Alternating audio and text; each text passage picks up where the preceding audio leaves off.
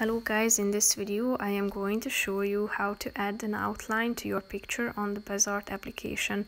But first I just want to mention, don't forget to subscribe to my channel because at 10,000 subscribers I am going to show you my whole YouTube revenue statistics and growth strategy how to make money online. So let's jump into it.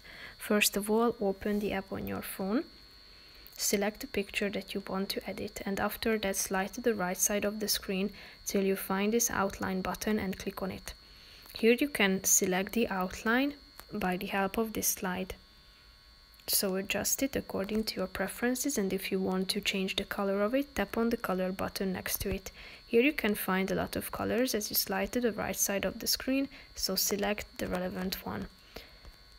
You can also customize it by tapping on this uh, first icon and if you um, would like to choose a similar shade to one of the um, those colors that can be found in the pictures just simply move uh, this circle to the right uh, facial um, expressions such as if you want to create a um, a color that's similar to your eye color then move it to the eyes tap on the check mark icon and it will be selected automatically. So tap on the check mark icon again at the top and it will be saved. So that's pretty much it for this video guys. See you in the next one. Bye bye